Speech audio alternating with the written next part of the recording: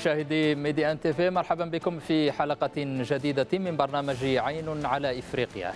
بين المغرب والولايات المتحدة الأمريكية علاقات متجذرة عرفت خلال الولاية السابقة للرئيس المنتخب دونالد ترامب مستوى غير مسبوق عندما اعترفت واشنطن بسيادة المملكة المغربية الكاملة على صحرائها. في حلقتنا لهذا الأسبوع مشاهدينا نستطلع أفق علاقات الرباط وواشنطن في عهد الرئيس المنتخب دونالد ترامب كما نبحث أفق العلاقات الأمريكية الإفريقية في عهده.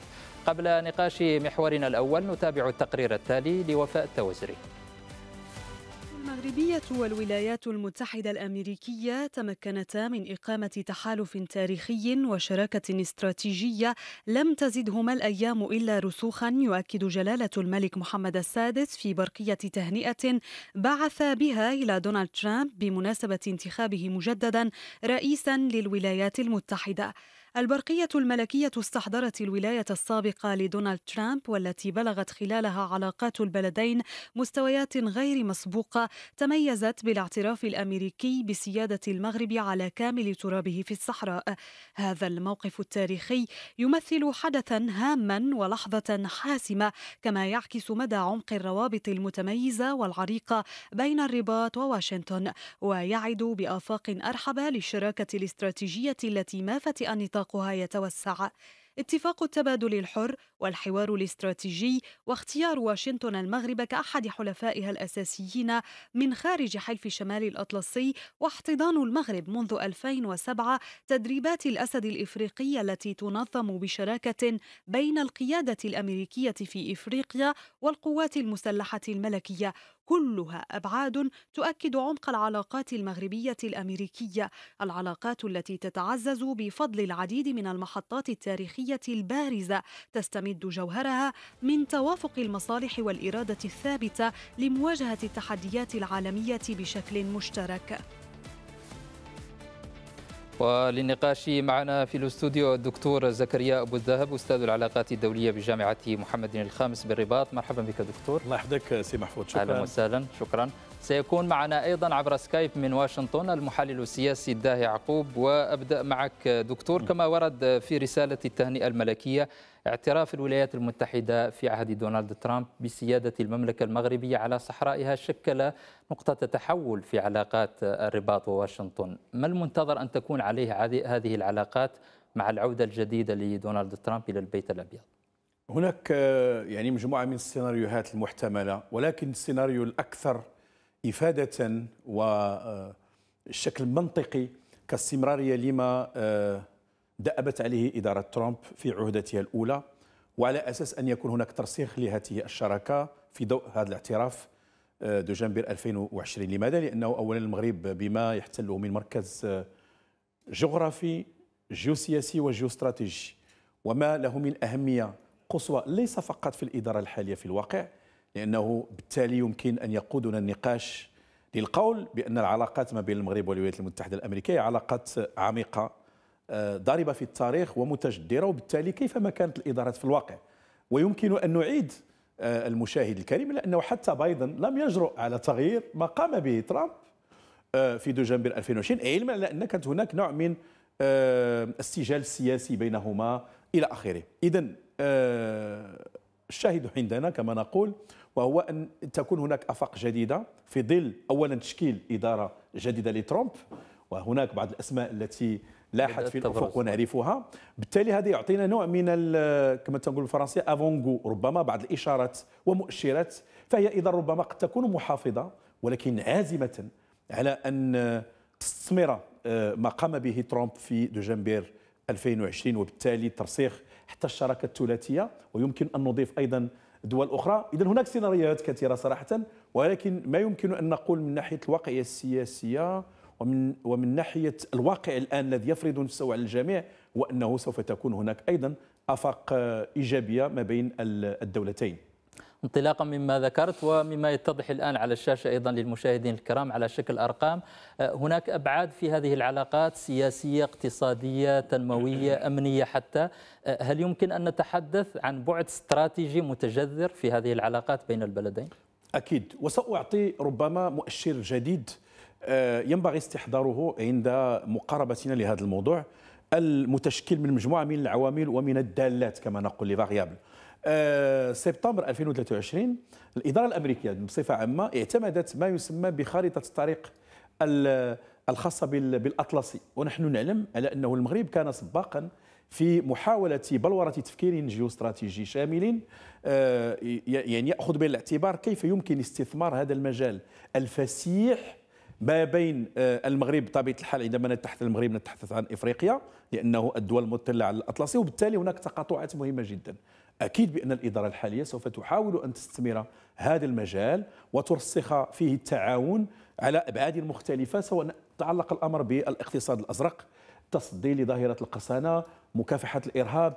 واليوم هناك اجتماع مهم كما تعلم في آه، العاصمة الرومانية فيما يتعلق بالتصدي للهجمات الإرهابية ذات الأبعاد النووية. أمريكا حاضرة والمغرب حاضر أيضا. تماما. آه، المحلل السياسي دا يعقوب آه، من واشنطن. في الواقع آه، المملكة المغربية اعترفت باستقلال الولايات المتحدة الأمريكية قبل أزيد من قرنين. بالتالي نتحدث عن تجذر ممتد على مدى هذه الفترة من العلاقات بين البلدين. ما الذي يمكن أن نتحدث عنه كمميزات للعلاقات بين الرباط وواشنطن؟ أهلا وسهلا أستاذ محفوظ أهلا بالدكتور معكم في الاستديو.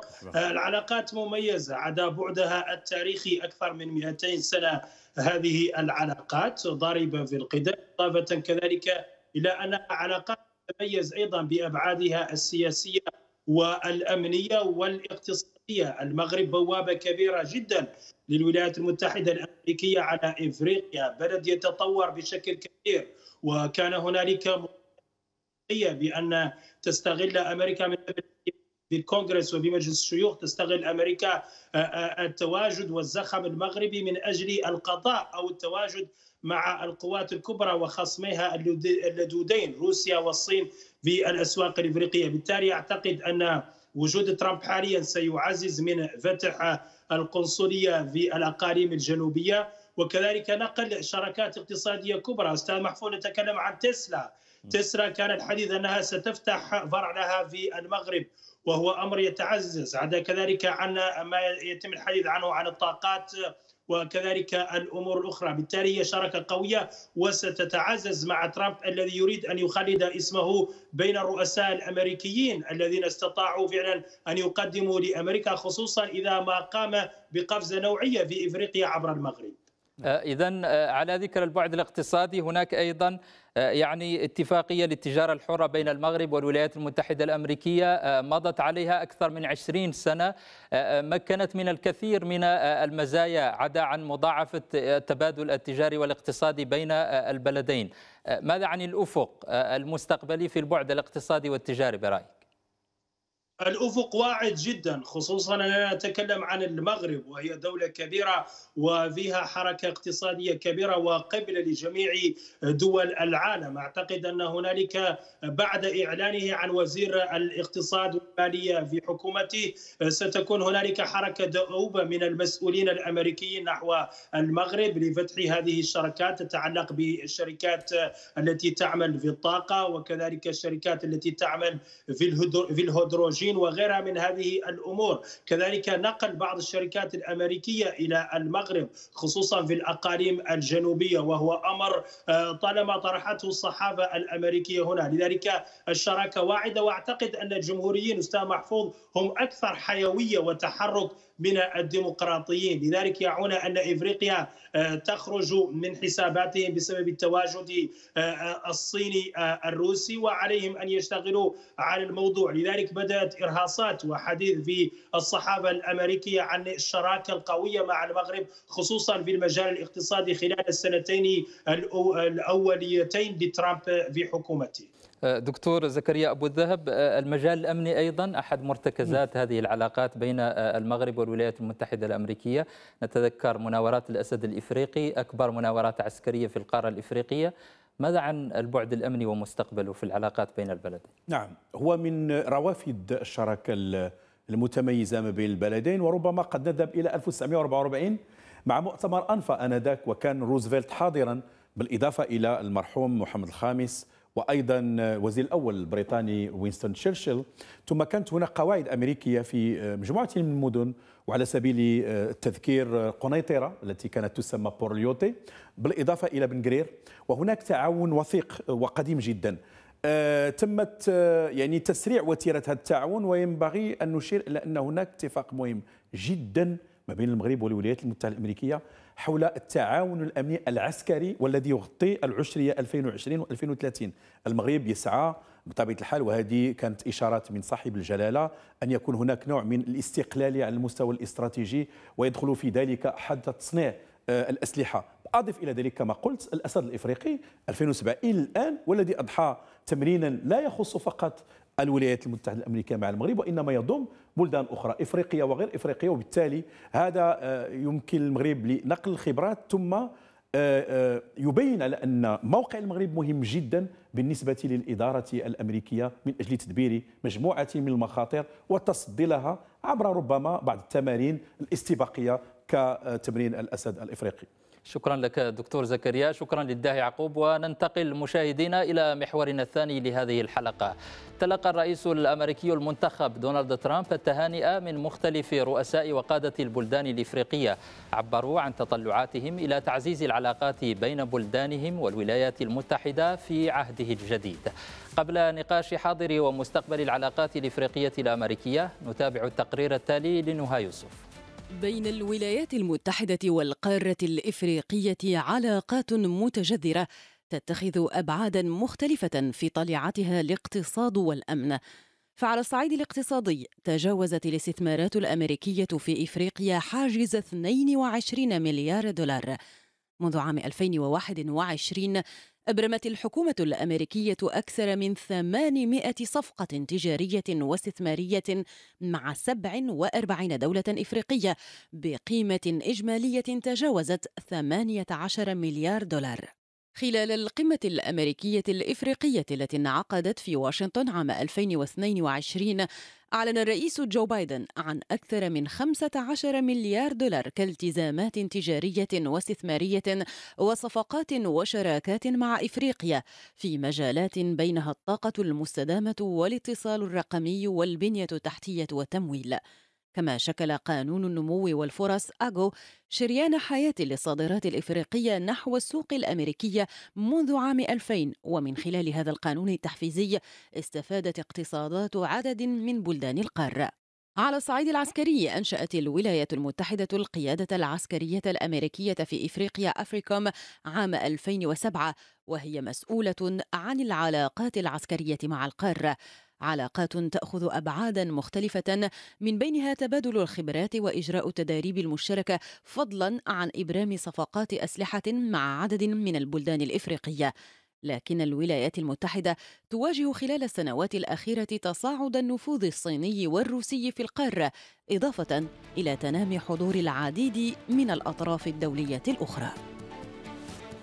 المحلل السياسي الداه يعقوب تابعنا إذن في التقرير مجموعة من المرتكزات في العلاقات بين الولايات المتحدة الأمريكية والقارة الإفريقية. برأيك إلى أي حد ينتظر أن يتعزز الاهتمام الأمريكي بإفريقيا في عهد دونالد ترامب الجديد؟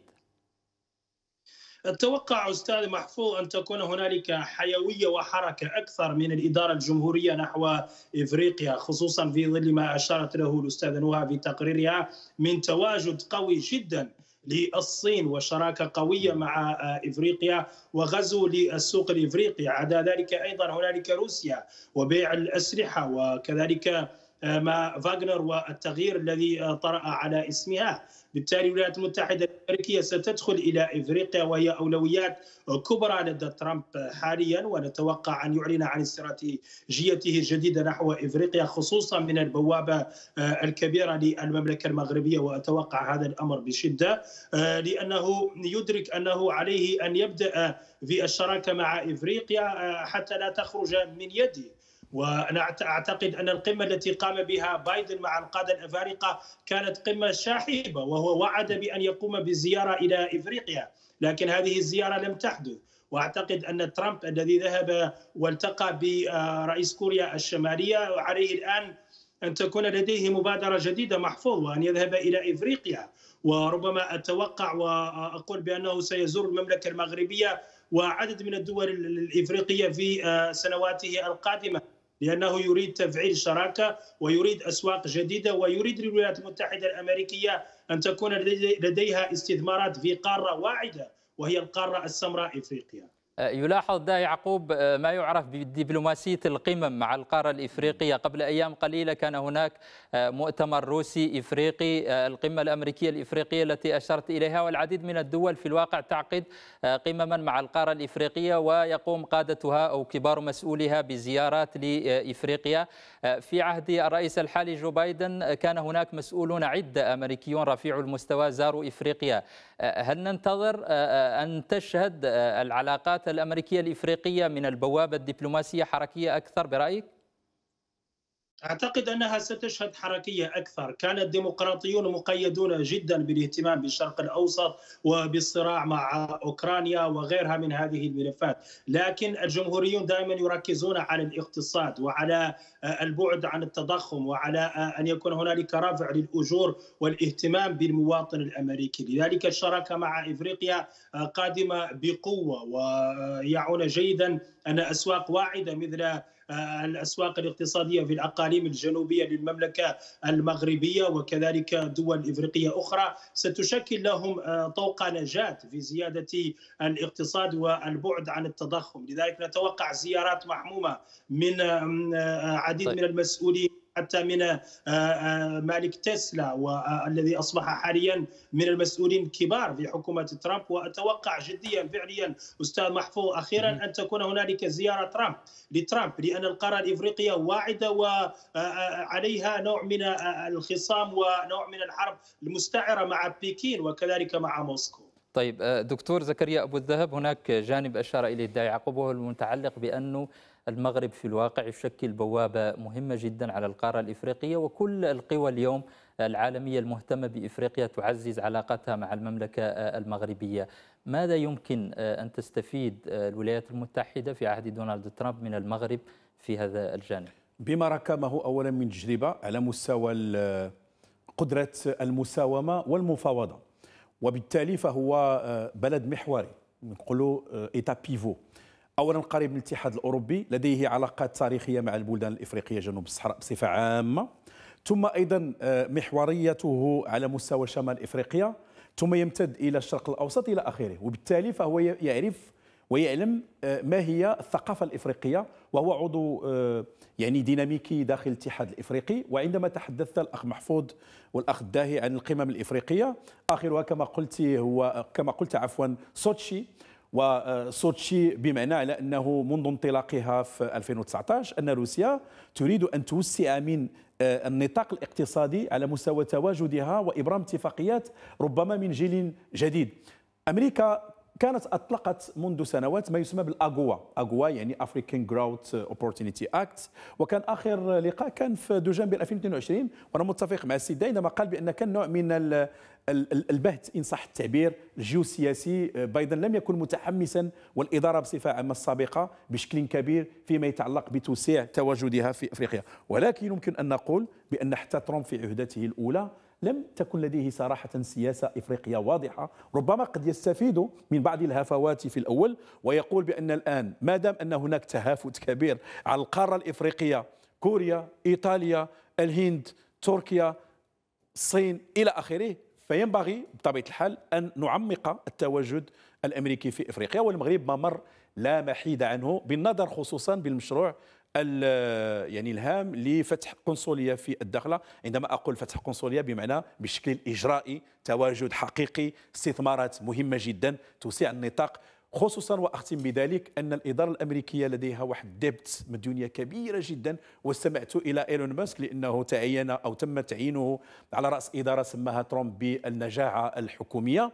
تقليص الدين من 6000 بليون دولار إلى 2000 وتقليص عدد الوكالات إلى آخره ولكن توسيع حجم المبادلات هذا يمر أيضا عبر تفعيل اتفاقيات خصوصا مع القارة الإفريقية. طيب ولكن يلاحظ الآن في إطار التنافس الدولي على القارة الإفريقية الصين بينها فارق كبير مع باقي الدول الأخرى في مجال التبادل التجاري والاقتصادي، هناك أكثر من دولة أيضا تسارع خطواتها في هذا الاتجاه.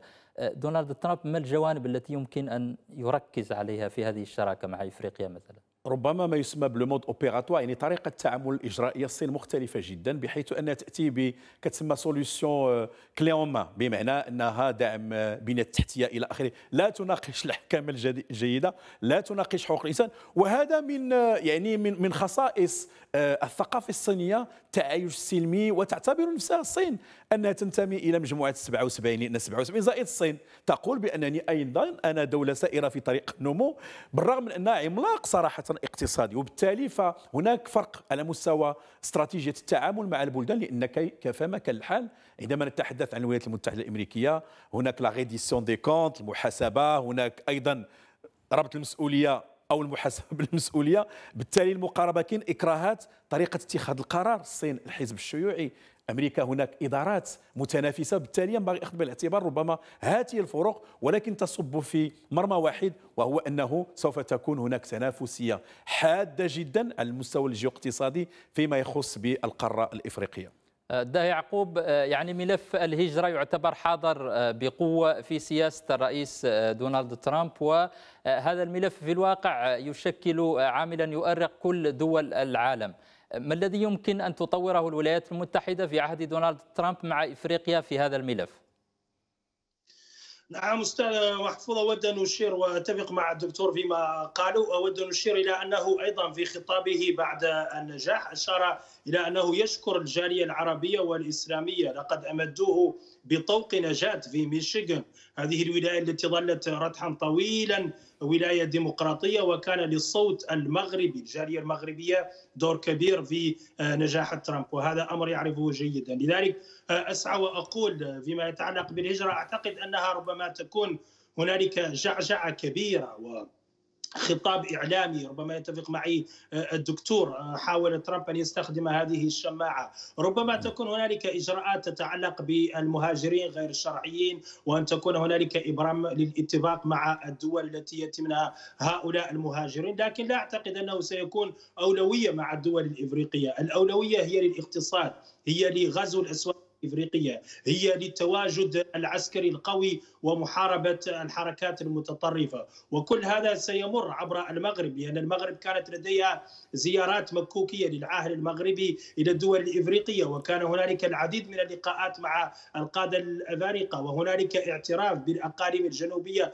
وبمغربية الصحراء دوليا والمغرب تعرف الولايات المتحدة الأمريكية أنها يجب أن لا تخسرها نتيجة للعلاقات التاريخية الطويلة وبالتالي سيكون آه، ملف الهجرة هو ملف ثانوي عكس الملف المتعلق بالاقتصاد والشراكة الأمنية.